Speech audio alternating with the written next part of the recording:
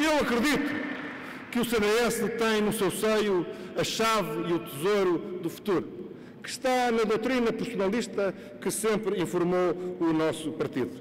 Se nós formos cada vez mais um partido mais aberto, um partido mais participado, um partido mais colegial, mais orgânico, um partido mais multipolar, um partido que simultaneamente é claro e moderado, um partido que compreende que para o país virar à direita também tem que se abrir ao centro. Esse partido personalista conquistará cada vez mais gente em Portugal. Porque os portugueses conhecem-nos. Os portugueses sabem que no CDS nós somos totalmente pela liberdade.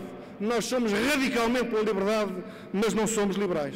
O, país sabe que nós somos totalmente sociais, nós somos radicalmente sociais, mas nós não somos socialistas, nós somos personalistas.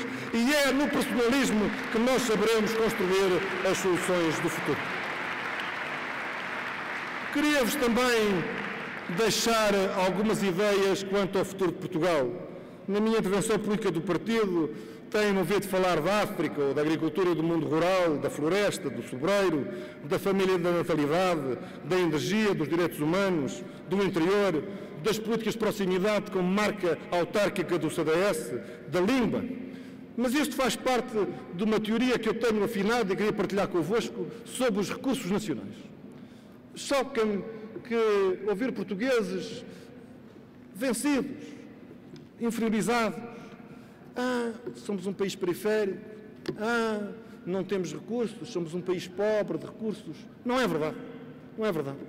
Nós temos recursos, só que os não conhecemos e não tratamos bem deles. Mas a reconstrução do país, política, económica e social, tem que se fazer assentando na valorização dos recursos nacionais. E queria partilhar convosco quais são, no meu entender, os quatro principais recursos de Portugal. Primeiro, as pessoas. As pessoas, os portugueses, somos o principal recurso de Portugal. E isso chama a importância da educação, que é uma prioridade do nosso partido, da liberdade de ensino, da exigência e do rigor no, no ensino, para que ele seja produtivo, para que a educação seja fecunda e possa servir o futuro das novas gerações, da família e da natalidade e também das nossas comunidades imigrantes. São pessoas e isso é um capital enorme que outros países podem aproveitar e nós devemos saber aproveitar também para a potenciação do nosso capital no mundo cada vez mais global e a internacionalização da nossa economia. Segundo recurso, e vão ver como desperdiçamos, o segundo recurso de Portugal é o território. E como nós desperdiçamos a terra, temos a agricultura maltratada, não cuidamos da floresta, temos o interior ao abandono, só falta ler alguém qualquer dia a apagar a luz e não, não ligamos suficientemente ao mar. Tem subido o interesse pelo mar muito pelo, pelo contributo do CDS, mas mais temos que fazer. O território, o aproveitamento dos nossos recursos territoriais é fundamental para o progresso de Portugal. Terceiro recurso, a posição geográfica. Como é que é pobre um país que tem esta posição geográfica privilegiada, porta do Ocidente da Europa, porta da Europa para o Atlântico Central e Sul e porta também para o Oriente através do Ocidente, como nós explicámos ao mundo? O que isto tem de potencial turístico, pelo clima de potencial energético? Como é que é pobre um país que tem esta posição geográfica? E quarto recurso, a língua. A língua portuguesa é um recurso extraordinário. Como é que é pobre um país que tem uma língua que é falhada por 250 milhões de pessoas no mundo e a crescer, que em 20 anos serão 300 milhões e em 2050 quase 400 milhões. Como é que é pobre um país que tem um português que pode ser o português língua da Europa, português língua das Américas, português língua da África, português língua do Oriente e que não sabe potenciar, preservar, como ainda recentemente se viu em decisões lamentáveis, mais uma vez, do PS e do PSD relativamente ao abandono da língua no quadro europeu. Termino já. Ah, termino já. Último recurso, que é uma circunstância, a Europa. É muito importante que nós percebamos que estes recursos que vos falei só os potenciamos plenamente integrados no projeto europeu.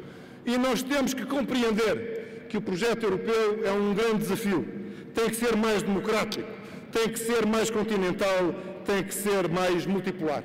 Teremos que saber vencer a nossa periferia mental, e deixarmos de ter subserviência, deixarmos de ser o bom aluno de mão estendida, mas sabemos reclamar a plenitude da nossa cidadania europeia e disputar taco a taco todos os nossos direitos na participação nesse grande projeto continental. Nós temos que compreender que a geração Erasmus não quer voltar para trás. E Portugal tem também muito a ganhar no reforço das suas posições no continente europeu. Termino, meus amigos, para vos convidar a este empenho em fortalecer cada vez mais o CDS. Enganam-se aqueles que acham que nós, nas últimas eleições, tiramos 10 deputados a outro partido. Não é verdade. Nós ainda temos mais para ir buscar, não é ninguém aos eleitores. Esses 10 deputados que tivemos a mais a 2009 são a antecâmara de mais 20 e os próximos 20 são a antecâmara de mais 40, que são nossos, que são nossos e que são aqueles que acreditam na mudança e na alternativa. De resto, nós ouvimos nos últimos dias muitas vozes do PSD tristes, eu percebo, que chamam clima de fim do regime. Dr. Rui Rio, Dr. Alberto João Jardim, clima de fim de regime. Eu percebo isso. O que é que é esse fim de regime? O que é que é esse regime? Esse regime é a alternância PS-PSD. Tem remédio simples. Juntem-se ao CDS, votem no CDS, valorizem as posições do CDS. O Dr. Alberto João Jardim, aliás, que de eleição a eleição parece que anda à procura de um sucessor, não consegue passar a pasta, tem uma solução fácil em outubro. É votar no Zé Manuel Rodrigues. Está aí a sucessão de Alberto João Jardim na Madeira. É o CDS. É o crescimento do CDS. E no interior, no interior que sabem que tem sido uma das minhas preocupações, convidemos os eleitores do interior, de Bragança, da Guarda aqui ao lado, de Castelo Branco, de Porto Alegre, todos estes anos têm votado no PS e no PSD. É dopo, é dopo. O que é que ganharam com isso? Votem no CDS e terão quem se bata por si e que não deixe destruir o interior. Viva o CDS! Viva Portugal!